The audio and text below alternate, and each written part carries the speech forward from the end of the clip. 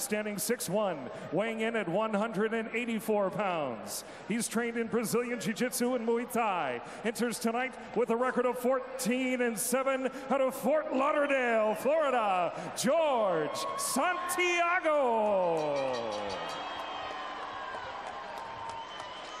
The third man in the cage is Cecil Peoples. The rules at all time.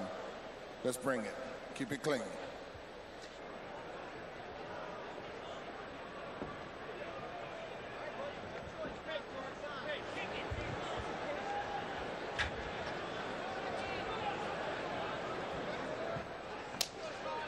First of two tournament fights. First of two, potentially, five-minute rounds. Salmon and Southpaw uh, stands is a little bit tricky. And Southpaw is always a little tricky to mess with. Beautiful reach. Santiago, well versed in beautiful reach. judo as well. He's got the total package. Oh, and and he's got athletic it. He's ability. it.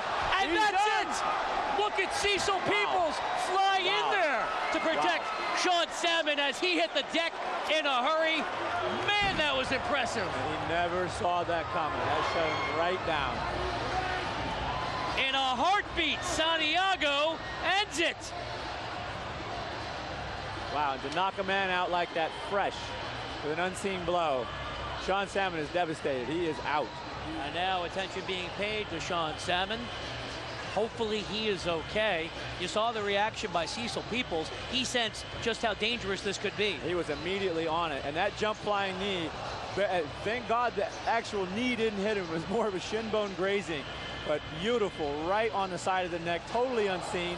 And you can never look away from combat like that. That's why that hurts so much. But there it is again, and it's just a shin bone in the neck, and it stunned him. It put him out. That second one put him a little bit deeper. Well, here's a very positive sign. Sean Salmon trying to get up, and he is, He's getting up. He's, He's just wobbly. He is absolutely wobbly. but he's up momentarily. And the medical staff wants him to go down.